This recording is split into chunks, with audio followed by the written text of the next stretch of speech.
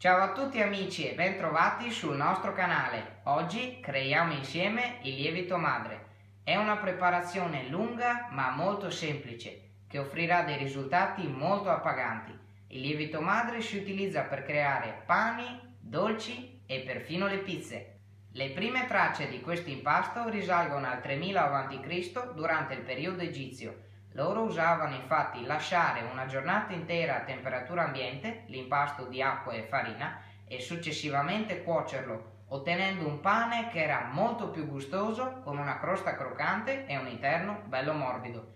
Prima non si faceva nulla di tutto ciò, semplicemente l'impasto di acqua e farina veniva cotto su una pietra calda e si otteneva un pane azimo molto croccante. Oggi chiamiamo lievito madre l'impasto fermentato che permette lo sviluppo di batteri e fermenti lattici adatti alla lievitazione. È fatto di due semplici ingredienti, acqua e farina, alle quali viene aggiunto un agente attivatore che può essere dell'uvetta, del miele oppure dello yogurt.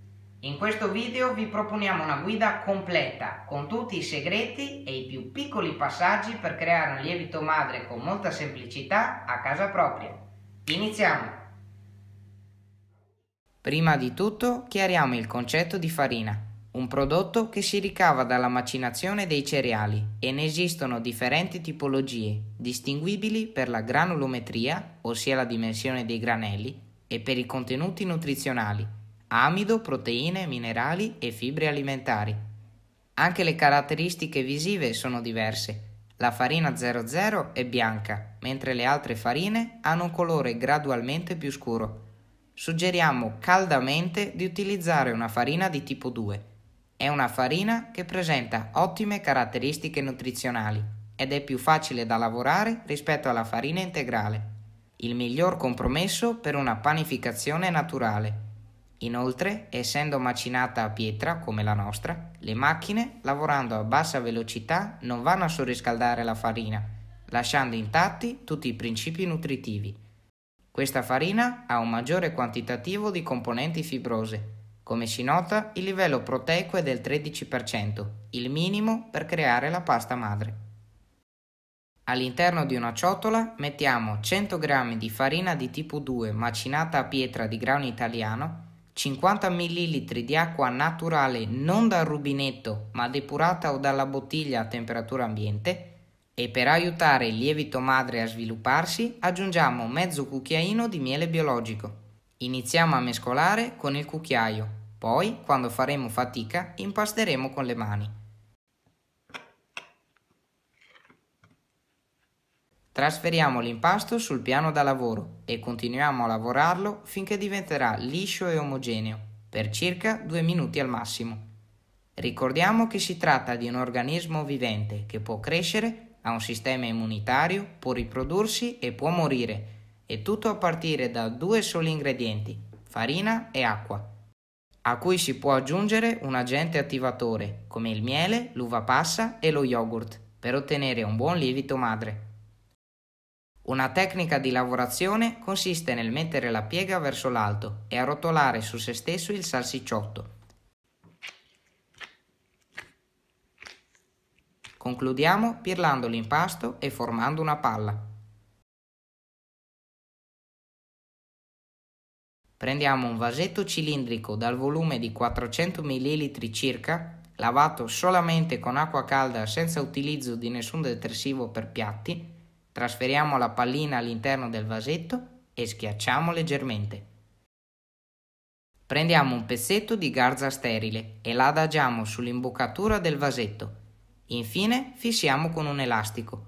Utilizziamo la garza perché è traspirante. Data la presenza di batteri, l'aria deve girare. Con un altro elastico fissiamo il livello di partenza della pasta madre. Mettiamo il vasetto in cucina a temperatura ambiente lontana da fonti di calore per 48 ore. Dipende dalla temperatura della cucina. In inverno può stare anche 3 giorni. Per la creazione e per i primi due rinfreschi consigliamo di utilizzare un vasetto stretto e alto, così si forma poca crosta e ne butteremo il minimo indispensabile. Proseguendo chiariremo questi concetti. Eccoci qua dopo due giorni, ha quasi raddoppiato di volume. La fermentazione è avvenuta correttamente e si sono formati moltissimi alveoli e bolle. Ciò significa che è aumentata l'acidità e stanno iniziando a crescere i batteri, trasformando gli zuccheri in amidi. Togliamo la garza e guardate che crostone si è formato. Vi facciamo sentire la sua durezza. Ora andiamo a rimuoverlo con una forchetta. Non serve sforzare, verrà via da solo. È molto appiccicoso e vi travolgerà un odore pungente, a noi ricorda yogurt e aceto. Una volta avviato il processo di fermentazione possiamo fare il primo rinfresco, quindi preleviamo 100 g di lievito madre. Se avessimo scelto un vasetto più largo si sarebbe formata troppa crosta e avremmo buttato buona parte dell'impasto.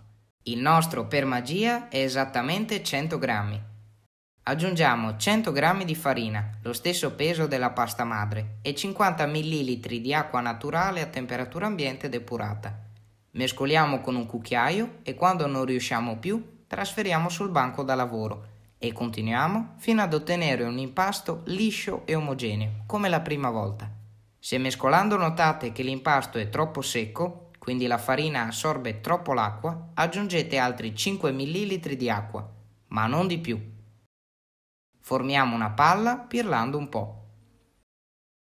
Prendiamo un nuovo vasetto più alto e dal volume maggiore, 500 ml, lavato solo con acqua calda.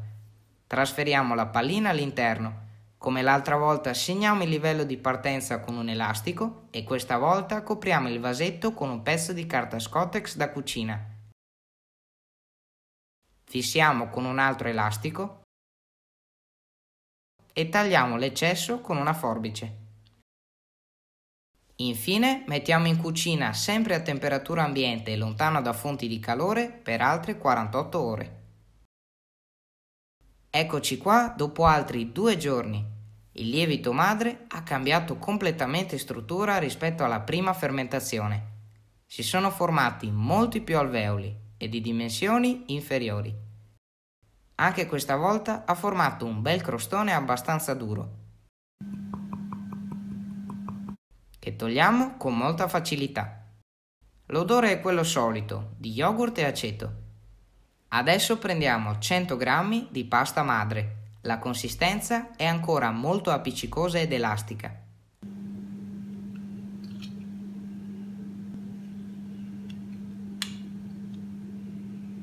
La precisione della mamma non sbaglia mai.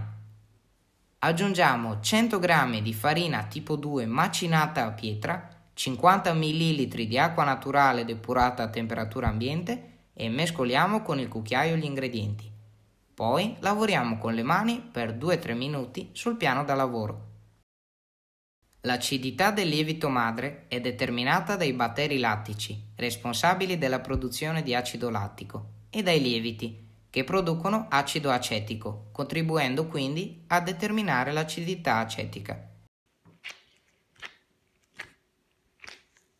Formiamo una palla, poi prendiamo il nostro vasetto, lavato sempre e solo con acqua calda, ci trasferiamo la pasta madre e questa volta copriamo con il suo tappo. Lo appoggiamo semplicemente senza avvitarlo, così i gas all'interno possono uscire. Infine lo riponiamo in cucina a temperatura ambiente per altre 48 ore.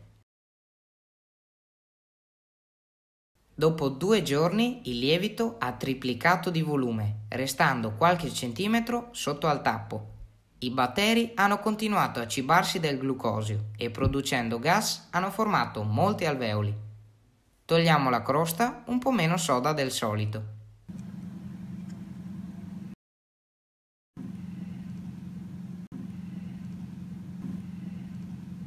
abbiamo deciso di aumentare di volume, quindi al posto di 100 grammi ne preleviamo 150 perché quando sarà il momento di panificare dovremo rinfrescare l'impasto e l'altra metà la dovremo utilizzare per le nostre ricette.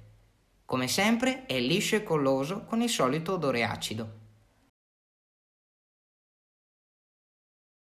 Siccome questo è il terzo rinfresco, cambiamo anche la farina quindi dalla farina di tipo 2, con la quale abbiamo dato vita alla pasta madre, passiamo ad una farina di tipo 1, per avvicinarci di più alle farine che utilizziamo di solito. Invece, se utilizzate sempre farine integrali o farine di tipo 2, potete continuare ad usare quella di tipo 2 per i rinfreschi. Quindi aggiungiamo 150 g di farina di tipo 1 e 75 ml di acqua naturale depurata a temperatura ambiente.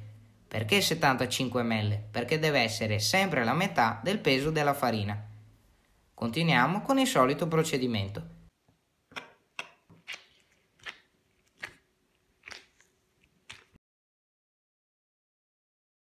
Aumentando il peso del lievito madre avremo bisogno di farlo raddoppiare in un contenitore di vetro più capiente. Il nostro è dal volume di un litro, lavato come al solito solamente con acqua calda. Togliamo la guarnizione dal barattolo così da permettere all'aria di girare. Ci trasferiamo la palla e appoggiamo il coperchio, non lo chiudiamo ermeticamente. Infine mettiamo in cucina dove è sempre stato fino al raddoppio, ad una temperatura stabile. La nostra è di circa 20 gradi. Impiegherà 3-4 ore. Quando il lievito madre avrà raddoppiato di volume, lo riponiamo nel ripiano più alto del frigo, dove solitamente c'è meno freddo, e lo lasciamo a fermentare per 48 ore. Da oggi in poi dovremo ripetere questo procedimento ogni due giorni fino ad arrivare a tre settimane dal primo rinfresco compreso. Se la temperatura è inferiore, ad esempio come in inverno, richiederà più tempo per raddoppiare. In estate, al contrario, ne impiegherà molto di meno. Se la temperatura nella vostra cucina è superiore ai 20 gradi e la pasta madre raddoppia in 30 minuti in un'ora, trasferite subito il barattolo in frigo. Eccoci qui dopo tre settimane dal primo rinfresco. Da oggi dovremo rinfrescarlo per un'altra settimana, non più ogni 48 ore, ma ogni giorno, con i soliti procedimenti.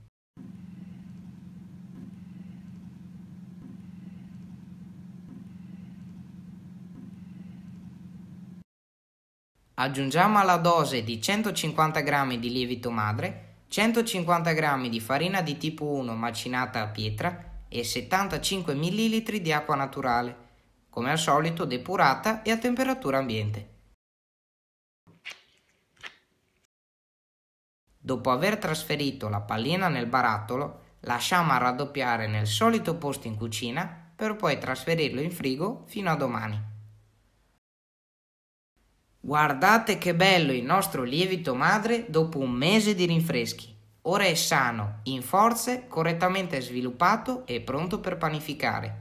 È più compatto del solito, ma soffice al tatto e non più appiccicoso.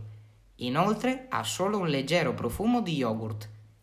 Quando vorrete panificare e fate il rinfresco, una volta raddoppiato dovete subito mettervi all'opera, perché se triplica perderà buona parte della sua forza lievitante. Da oggi in poi dovremo rinfrescarlo per il resto della sua vita ogni 3-4 giorni, anche se non panificate, così rimarrà in vita e in forze. Ne pesiamo 150 grammi e aggiungiamo acqua e farina. Se andate in vacanza, dopo che avete rinfrescato la pasta madre e raddoppiato, la mettete in freezer quando tornerete, la mettete in frigo nel ripiano più alto per tutta la notte. Il giorno dopo lo tirate fuori e lo lasciate ad acclimatare per due ore. Poi procedete con il rinfresco, togliendo sempre il crostone in superficie. Fate il rinfresco, lasciate raddoppiare e mettete in frigo come sempre.